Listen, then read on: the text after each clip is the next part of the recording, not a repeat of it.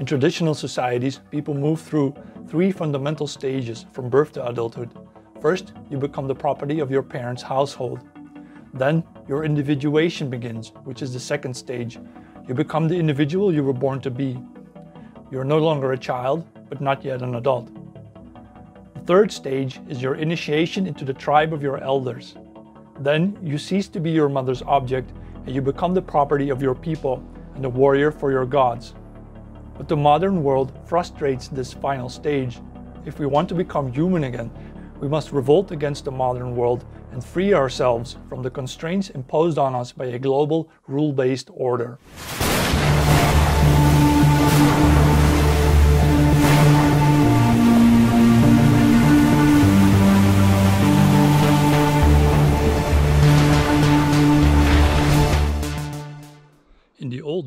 Give or take about a thousand years ago, uh, in Northern Europe, the right to become a human being had to be earned. It wasn't given to you. Well, it was given to you by your parents if you stood the test. Parents who received their newborn baby did not automatically consider it a human being. The child had to earn the right to become human. Uh, parents, the father, might dunk it in a in an icy stream of water to put it to the test. Is it physically strong enough to survive in our cold environment? The mother, for example, was not allowed to nourish her baby without the approval of the father. And if the father said, if the father believed that the child didn't live up to his expectations, he had the right, the sole right, as the patriarch of the family, he had the right to discard the baby. He had the right to throw it to the wolves or or to leave it outside at night in the wintertime to let it die of frostbite. This Spartan treatment they did not consider murder. You simply were not a human being unless you had stood the test. Even later in life, when you uh, when you were a teenager, you had to go through another test, an, an initiation rite, to prove that you were no longer a child, no longer the child of your parents, but that you were ready to become a member a fully grown member of your tribe, your nation, your people, your race. So there's an interesting saga about a 15 year old kid named Glum uh, from Iceland.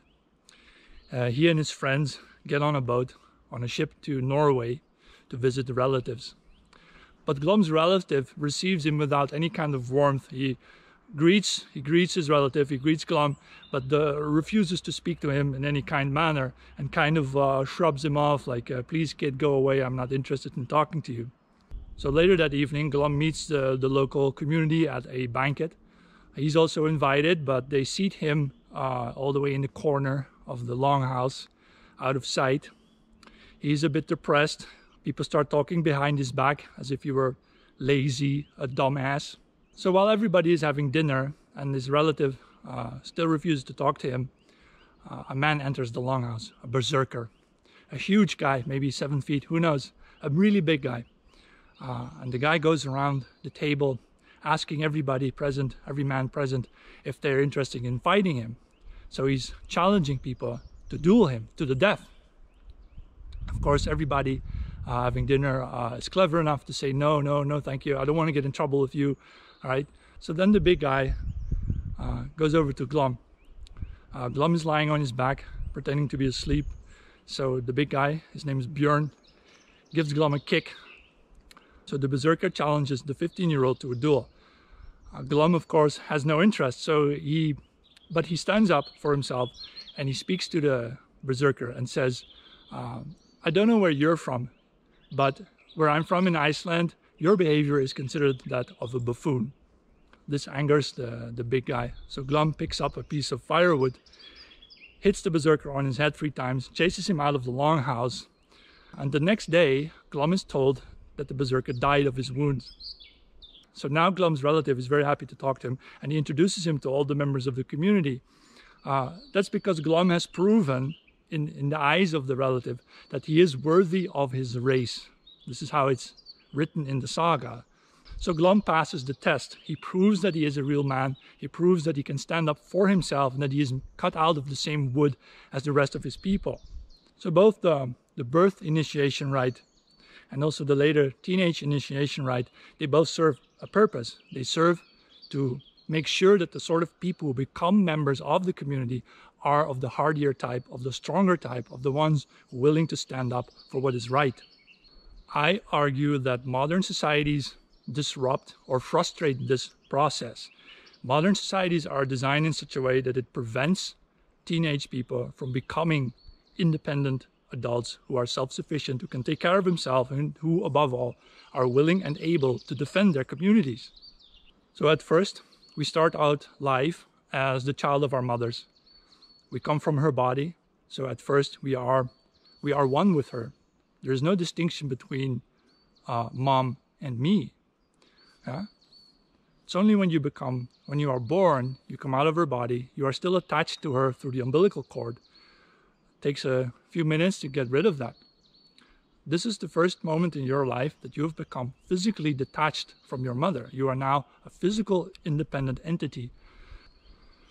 First years of your life, though, you will probably be resting in your mother's arms for quite some time before you finally learn to walk. And when learning, when you learn to walk, the second thing you learn is to learn to walk away from mom. You're going to explore the world on your own, but at first still with her supervision. It may take until early puberty, until your teenage years, that you are finally able to explore, uh, venture out into the world without your mother, without her supervision. It is during these years of early puberty, early teenage years, that you must um, develop your own personality. Or actually, I would say it's different. It's not that you have to develop a personality, but rather you have to stand up for the personality that you already developed during your early childhood.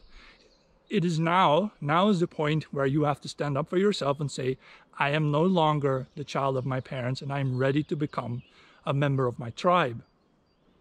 Practically every traditional people in the world has exactly this process where Children have to transform from being the child of their parents, the property of their mothers, to becoming the property of their tribe's god or their elders and so forth. So this so there are these three processes that everyone has to go through in order to become a human being. First you are born as a child of your parents, then you must individuate.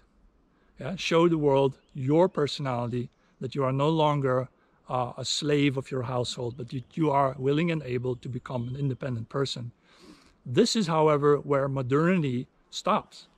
The modern age tells you to stay there at this point where you've become an individual. So the philosophy of individualism has taken over almost the whole world, at least the modern world.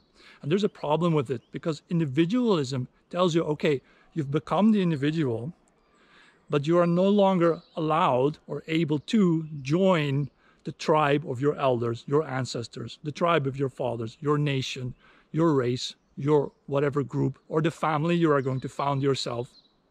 It arrests your development and you no longer become a member of something bigger, of your group. And our overcrowded world makes it only even more difficult for young people to venture out and to, to join their tribes and to establish their own lives housing has become extremely expensive. There's almost no land where you are allowed to legally settle, build a house in the vicinity of water uh, with pastures for your cattle or land to grow your crops. So the world has become a household, and in that household, we all remain children. Uh, one author calls this the over-socialized leftist. This is a person who has succeeded in being born, becoming an individual, but then failed to become something more than that. And so we remain trapped in the household of modernity. Uh, modern big cities keep us trapped in small apartment boxes and expect us to live out our lives there. All we can do is earn a wage, but that's not the same thing as building a life. This is, however, exactly what the globalist overseers actually want. They don't want people to become truly independent, to learn to stand up for themselves like Glum did, to learn to fight back, to learn to push back. No, the globalists want people, all 8 billion of us, to remain children in the household of modernity. So this is where I think the whole philosophy of identitarianism ties into. It does indeed tie into the identity politics of the left. In fact, identitarianism is simply identity politics for the right. I think this, I think this is so because globalists have recognized that people on the right of the political spectrum, the right wingers, the reactionaries, they are about to form groups. They're going to join together again, to join forces and to push back against modernity. And this is a threat to the global household. So what better could you do than to try to atomize the right and to turn right-wing people from, say, religious backgrounds or from uh, closely knit ethnic backgrounds, you want to break them apart. You want to prevent them from becoming from becoming uh, groups with the strength to push back against globalism. So this is what I think identitarianism does. It literally gives you a sticker that says, hello, right-wing person. And you can stick it on your chest and feel good about it as long as you don't join forces and fight back. Well, fighting back is exactly what we're supposed to do. You see, fighting back is that third process. You're born, you individuate to become yourself, and then you join your clan, your group, your race, or your nation, or your religious outfit. Yeah? So the third phase yeah, is necessary to become human being. And that means in our modern world, we aren't left any other choice, no way, no other way out, but to revolt against the modern world. Our answer lies not in identitarianism. It lies not in marching up and down the street waving flags, wasting our time.